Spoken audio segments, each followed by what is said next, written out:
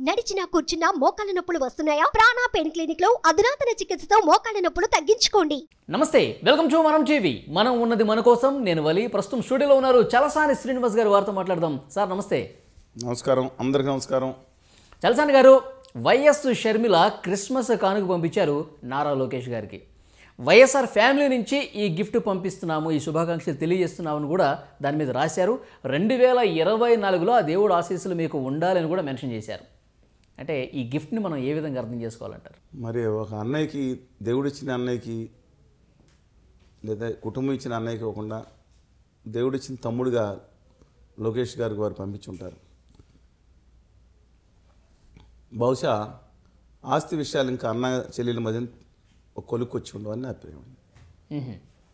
ఇప్పుడు ఆవిడ చేసిన యాత్రను కానీ పట్టుదలతో తెలంగాణతో లో అనేక అవమానాలు ఎదుర్కొని ఓ రాజశేఖర రెడ్డి బిడ్డగా ఆవిడ చేసిన పట్టుదలతో ఉందని దాన్ని అభినందం అది వేరు. ఇది మాత్రం స్పష్టంగా కనపడుతుంది. ఇంతకుముందు ఆల్రెడీ వారి భర్త అనిల్ గారు ఉండవల్లి అరుణ్ కుమార్ గారికి దగ్గరికి వెళ్ళటం ఇంతకుముందు తన అసంతృప్తి మొత్తం చూసుకుంటాం అని చెప్తా ఉంది. బహుశా ఆస్తి తగాదాలని నా అభిప్రాయం అండి. ఇప్పుడు జగన్ గారికి కూడా ఎలా ఉంటుందంటే అత్తగారు కొట్టినందుకు కాదు తోడుకోవడంలో దెప్పినందుకని ఇప్పుడు ఇది ఆయనకి బాధించి వ్యక్తిగతంగా బాధించేది. బహుశా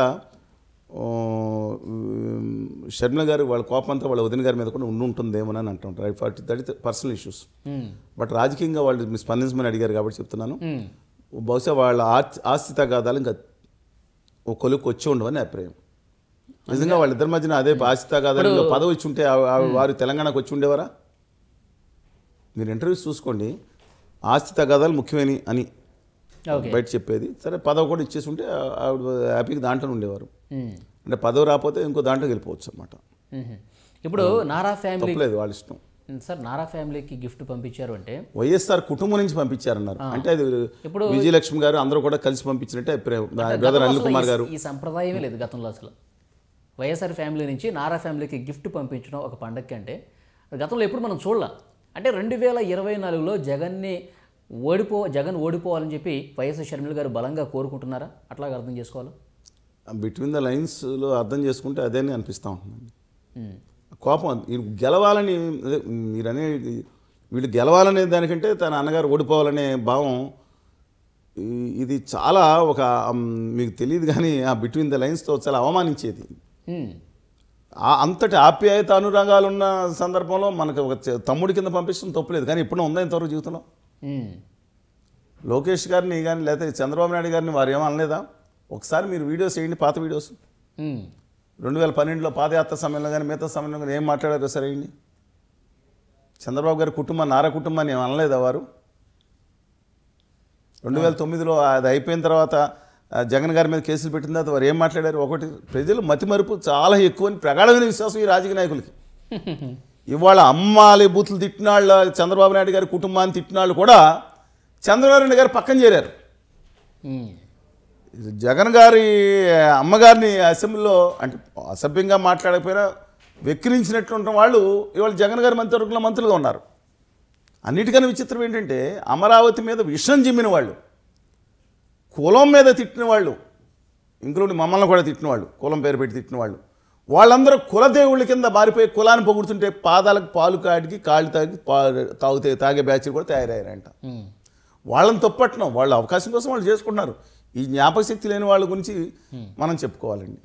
అంటే రాజకీయాల్లో శాశ్వత మిత్రులు శత్రువులు శాస్త్ర రాజకీయాల్లో శాస్త్ర మిత్రులు కాదు. మళ్ళీ నిమిషంలో మారిపోవచ్చు. ఇప్పుడు నిమిషంలో మారిపోవచ్చండి.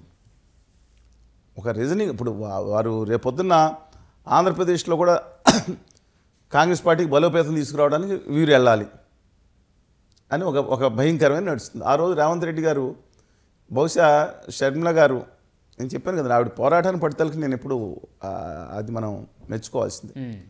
ఎన్ని అవమానాలు పడ్ పడ్డారండి ఆవిడ. సరే అది వేరే సంగతి. కానీ రేపొద్దున్న తీవ్ర ప్రయత్నాలు కాంగ్రెస్ పార్టీ ద్వారా చేయించారు. వారిని ఆంధ్రప్రదేశ్కి పంపించడానికి. మ్మ్. కాంగ్రెస్ పార్టీకి ఆంధ్రప్రదేశ్లో వీరు వెళ్ళటం కాదు. ఆ పార్టీ రేపొద్దున వాళ్ళు నిజంగా రేవంత్ రెడ్డి గారు వెళ్ళినా ఎవరు వెళ్ళినా ఐదు ఓట్లు పెరిగితే నాలుగు ఓట్లు ఖచ్చితంగా వైఎస్ఆర్ కాంగ్రెస్ పార్టీకి లాస్ అవుతుంది. Okay. Congress party vote bank అత్యధికంగా ట్రాన్స్ఫర్ వాళ్ళకి ట్రాన్స్ఫర్ అయింది వైఎస్ఆర్ కాంగ్రెస్ పార్టీ. అవును. ఇప్పుడు కాంగ్రెసే వైసీపీ కదా సార్. గా మారింది. ఇప్పుడు తెలంగాణలో కూడా తెలంగాణ రాష్ట్ర సమితిలో మేజర్ తెలుగుదేశమే.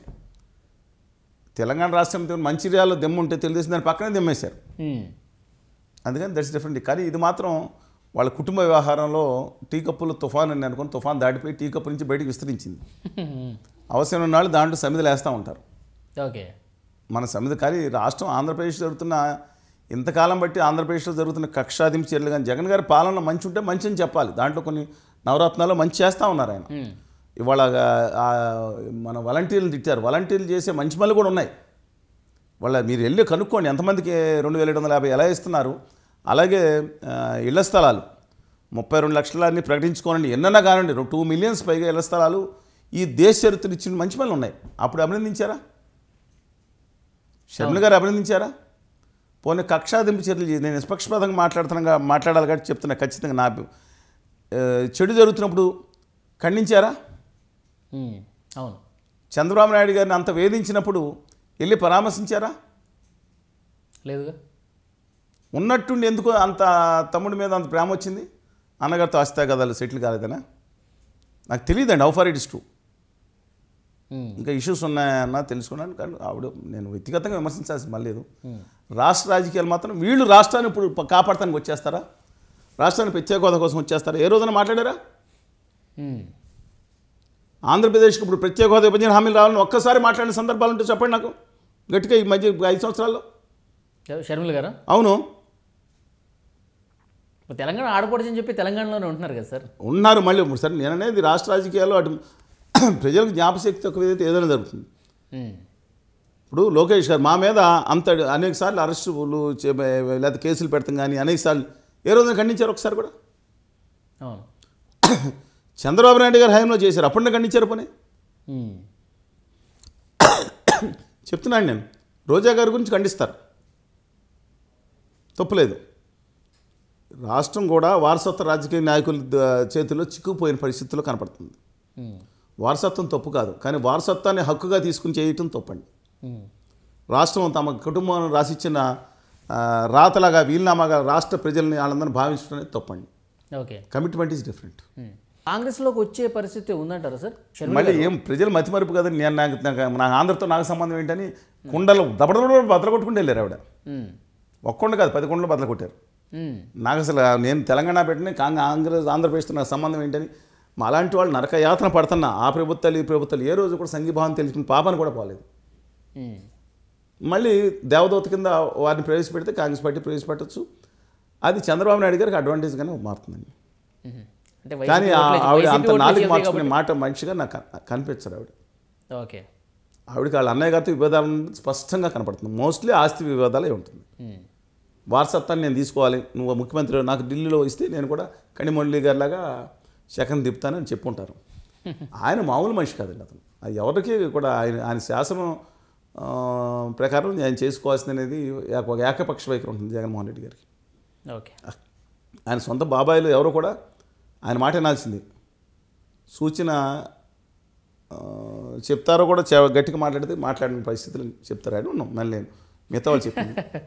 ఓకే. అంటే మనం ఎలా చెప్తాం? చాలామంది చెప్పేస్తుంటారు. ఇంట్లో జరిగి చూసిన సంఘటనలు వచ్చినట్టు చెప్పేసి ఆ రోజు నేను చూసిన ఎలా చెప్తాం? మన విశేషం మీరు చెప్పారు.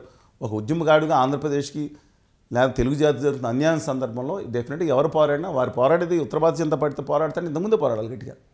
వాడి వారు పోరాడింది ఎక్కువ బీఆర్ఎస్ పార్టీతో. ఉత్తర భారత జనతా పార్టీ గురించి ఎప్పుడైనా గట్టిగా మాట్లాడారా? లేదు. చూద్దాం సార్. భవిష్యత్ పరిణామాలు ఎలా ఉంటాయి అనేది. థ్యాంక్ యూ వెరీ మచ్ ధన్యవాదాలు.